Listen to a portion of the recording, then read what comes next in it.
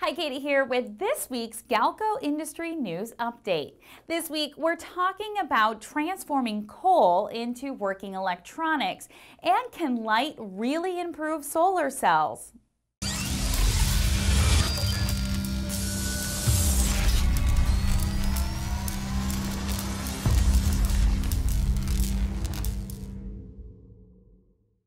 MIT researchers are using intense light to improve solar cell materials.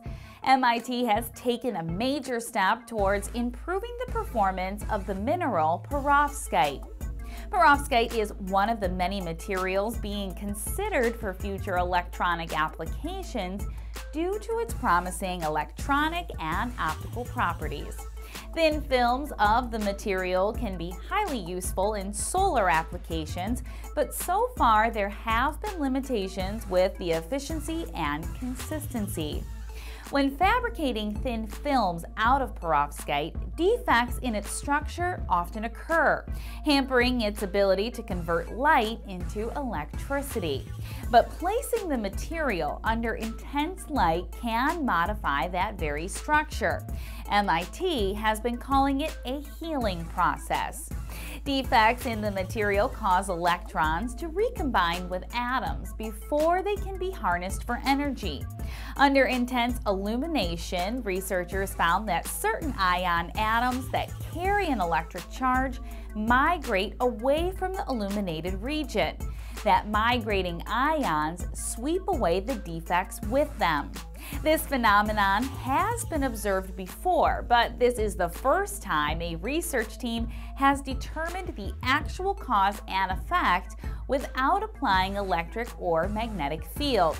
Perovskite is promising for more than just solar cells. Experts envision the material's use in LED applications, lasers and light detectors, and sensors. In practice, performance of the material has been highly variable and unpredictable. With this new healing process, researchers hope to achieve defect-free films. In other news out of MIT, engineers are aiming to change the way coal is used and may have found a way. Researchers have discovered how to repurpose coal from combustible fuel in electronic devices for a variety of industries, from energy to aviation, healthcare, and much more. Coal has been one of the most widely used substances in the world for centuries, but has never been studied for the sole purpose of creating electronic devices. But now research is digging into its bulk electronic and optical properties. Naturally occurring coal has innate properties desirable for electrical devices. When unrefined, coal can have a range of electrical conductivities spanning seven orders of magnitude. This is huge advantage over silicon, which requires intense refinement to be suitable for electrical components. MIT's Simple Heating device is the first end-to-end -end demonstration of how to use the material to fabricate electronics. Bulk coal is crushed into a fine powder, suspended in a solution and then deposited in a thin uniform film onto a substrate to make it into a functional electronic device.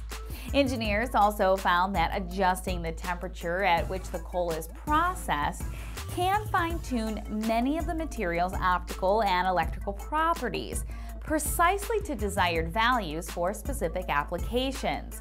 Unrefined coal can be used to create simple electric heating devices for use in defrosting car windows or airplane wings. That's the news for this week. Tune in next week for more of the latest news in electronics, automation, and robotics.